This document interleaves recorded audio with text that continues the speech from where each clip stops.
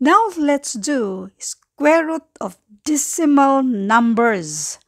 At ito, lalo na to, ilang ulit na to. Nag-umpisa yata 2018 or 2017 yung lumabas na may square root of 0.000081 ba yon?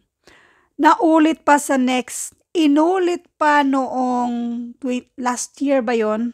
So, ilang ulit na talaga to. Ewan ko na lang kung maulit pa rin ba ito sa next na exam.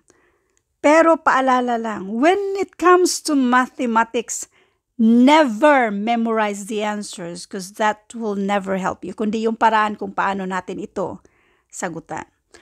So, itong reviewer na ito ay nagawa natin 2019 at ito ay meron sa files sa FB group na ito, mga FB groups na to, lalong-lalo na dito sa Philippine Civil Service Review for All at itong Civil Service Exam 2023 Community na FB groups. Ito yung mga FB groups na lagi nating tinatambayan. Punta lang kayo sa file sa mga FB groups na yan para makakuha kayo ng kopya nito. Sa last part niyan, nandun yung mga detalyeng sagot, pati yung link kasi meron na tayong mga videos sa lahat ng mga reviewers na galing sa atin.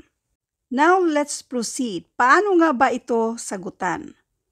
Ang kagandahan dito, yung mga choices, parihong may 1, 5. Lahat ng mga choices na yan. Dito naman ay parihong 9. So, sa solution number 1, kayo yung mamili kung saan hiyang kayo sa pag-solve nito, kung saan kayo hiyang. Solution number one, i-count lang natin, ibali iparis-paris natin by 2. Isang pares, 1, 2, 3. Tatlong pares yan. Therefore, yung point natin, after sa point na yan, we have 1, 2, 3. Saan ang tatlo? Letter T. Yan na yung sagot. Again, ipares natin meron tayong 81, dalawang 0, dalawa pang 0 at dalawa pa. So therefore, apat yan siya. So point, apat, 1, 2, 3, 4. Saan dyan sa choices ang may apat after sa decimal number? Itong letter E. Yan na yung sagot. Ganun lang kadali. Now, another way of solving this. 'Di ba? Decimal siya. Gawin natin siyang fraction form. So, ang nasa taas, root. Ang nasa taas, 225. Ang nasa baba, ilagay natin yung 1.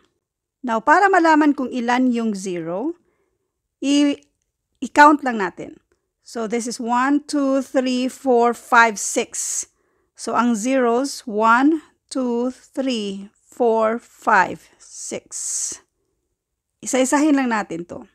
Square root of 225 and that is 15 over square root of 1 million and that is 1,000.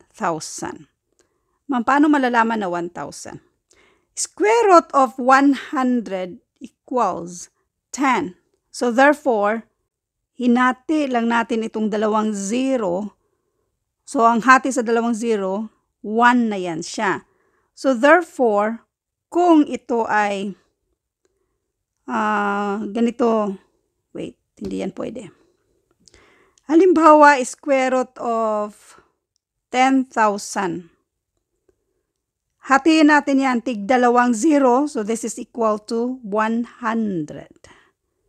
So ngayon, 1 million yan siya, hatiin natin yung mga zeros na yan, tatlo, tig tatlo. So, 1,000. Now, 15 over 1,000, paano yan i-convert to decimal? Isulat muna natin yung 15. Ilang zero yan? Tatlong zero yan. 1, 2, 3. So, ang decimal galing dito, move natin going to the left side. 1, 2, 3. At yung space, lagyan natin ng 0. And this is 0.015. So, letter D. Next, dito naman tayo, uh, gawin na, pa rin natin siyang uh, fraction. So, 81 nasa taas. yung nasa baba natin, sulat natin yung 1. I-count natin lahat ng mga after sa decimal. 1, 2, 3, 4, 5, 6, 7, 8. 8 lahat. So, 1, 2, 3, 4, 5, 6, 7, 8. Square root of 81, this is 9. Now, kung paano ito square root itong maraming zeros, hatiin lang natin.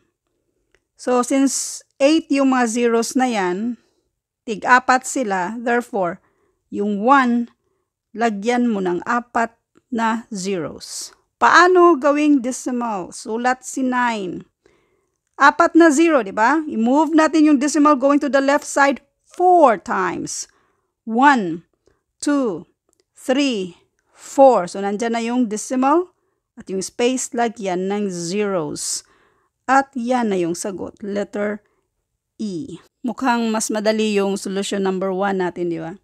Pero anyway, para sa iba pang detalye, kung paano mag-solve ng square root without using calculator, search nyo lang sa ating YouTube channel, isulat yung square root.